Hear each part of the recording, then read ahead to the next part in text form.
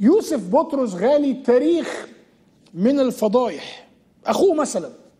أنا هو هو سمعنا وشفنا اللي عليه. أخوه اتحكم عليه بالسجن 30 سنة وغرامة 6 مليون جنيه لأخوه بعد ما تمت إدانته بتهريب الآثار. النقد بعد كده خففت العقوبة على شقيق يوسف بطرس غالي في قضية تهريب الآثار وقالوا له تسجن سبع سنين بس. وبعدين رفعوا التحفظ على أموال شقيق يوسف بطرس غالي آه، ده علشان أخوه. يعني إيه؟ يعني هو وأخوه طلعوا من ال- ال- ال- البلاوي والأحكام اللي عليهم زي الشعرة من العجينة. ليه؟ لأن عندك نظام فاسد. وبعد كده تيجي تتكلم يقول لك تتكلم على القضاء الشامخ.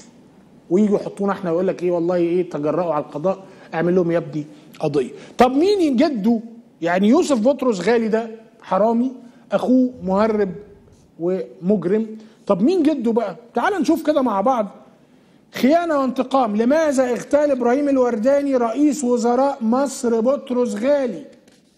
إبراهيم الورداني ده اللي قدامكم هات صورته. المعجباني الشاب ده. قتل يوسف بطرس غالي قتل جده. بطرس غالي. ليه؟ عشان هو شاف إنه مجرم واغتاله في فترة كان فيها الاغتيال السياسي منتشر في مصر. منير الخطير كتب لك إيه بقى؟ كتب لك على تويتر كده تعليق آه، على حسابه قال لك دي صورة الخاين رئيس محكمة دنشواي وكلب الإنجليز في مصر مش عارف اسمه إزاي على شارع المفروض يبقى اسمه شارع إبراهيم الورداني.